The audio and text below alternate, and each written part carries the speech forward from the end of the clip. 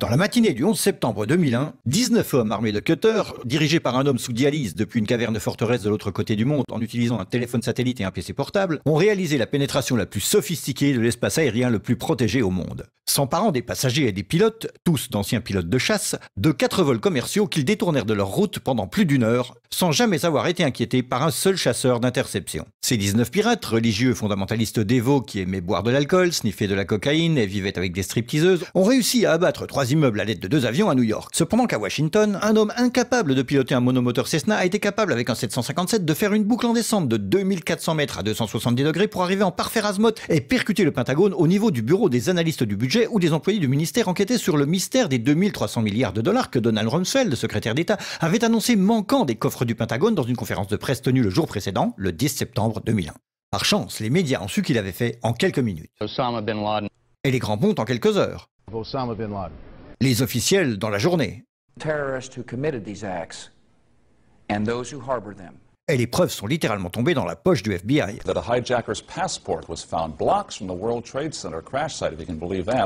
Mais pour une raison ou une autre, des conspirationnistes fous ont demandé une enquête sur la plus grosse attaque perpétrée sur le sol américain de toute l'histoire.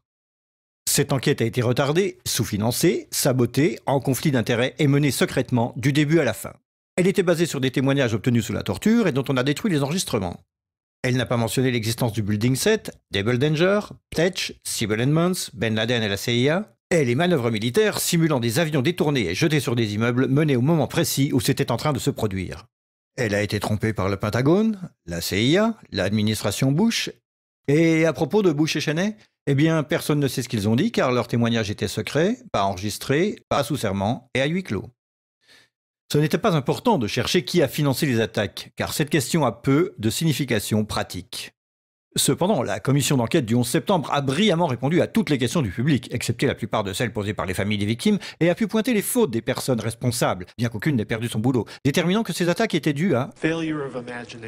Parce que...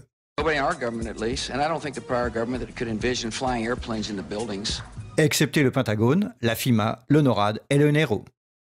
La DIA a détruit 2,5 teraoctets de données sur Rebel Danger, mais c'est ok car ce n'était probablement pas important. La SEC a détruit les données sur l'enquête concernant les délits d'initiés avant les attaques. Mais c'est ok car la destruction des données relatives à la plus grosse enquête de toute l'histoire de la SEC fait partie de ses routines d'archivage. Le NIST a classé secret son modèle mathématique utilisé pour l'effondrement du building numéro 7. Mais c'est ok car le révélé aurait compromis la sécurité publique. Le FBI a argué que tout ce qui concerne leur enquête sur le 11 septembre doit être tenu secret. Mais c'est normal, car le FBI n'a probablement rien à cacher. Cet homme n'a jamais existé, et rien qu'il ait dit ne mérite votre attention. Si vous dites le contraire, vous êtes un conspirationniste paranoïde qui mérite d'être mis au banc de l'humanité. Comme lui, lui, lui, et elle, elle, elle et lui. Ben Laden a vécu dans une grotte forteresse des montagnes d'Afghanistan, mais il a pu s'échapper.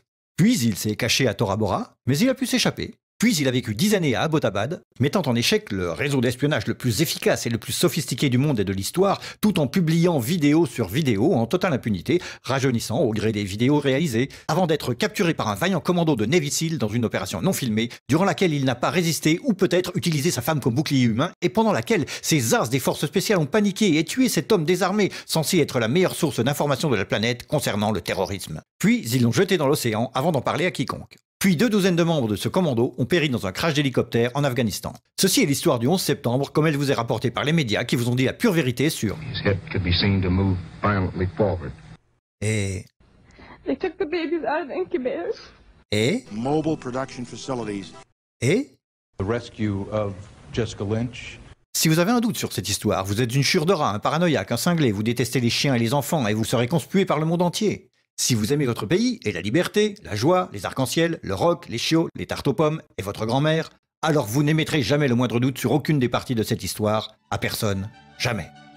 C'était une annonce publique sponsorisée par les amis du FBI, de la CIA, NSA, DIA, SEC, MSM, Maison Blanche, NIST et de la Commission sur le 11 septembre. Parce que l'ignorance, c'est la force.